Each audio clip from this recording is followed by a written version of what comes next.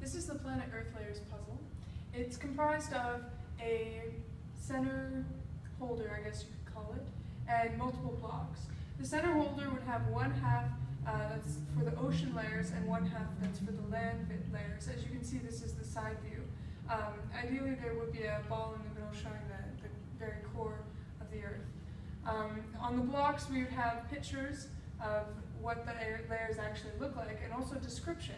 And so the point of the, this puzzle is to put the blocks in the correct places um, on this, uh, in this holder uh, and also explain why you put them.